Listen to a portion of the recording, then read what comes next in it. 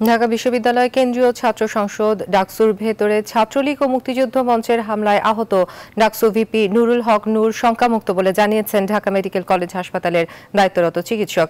এছাড়া আহত হয়ে লাইফ সাপোর্টে থাকা বাংলাদেশ সাধারণ ছাত্র অধিকার সংরক্ষণ পরিষদের যুগ্ম আহ্বায়ক তুহিন ফারাবির লাইফ সাপোর্ট খুলে ফেলা হয়েছে।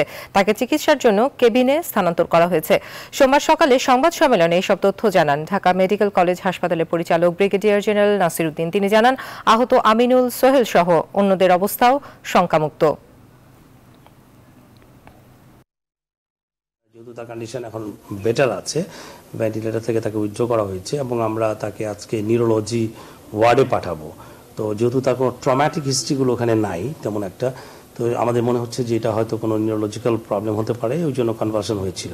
বাট তার কন্ডিশন এখন স্টেবল আছে, আর এর বাইরে অন্য যারা আছে তাদের কিছু কিছু ইঞ্জুরি ছিল, সবই ব্লান্ড ট্রমা হয়তো কোনো কিছু দিয়ে আঘাত হয়েছিল।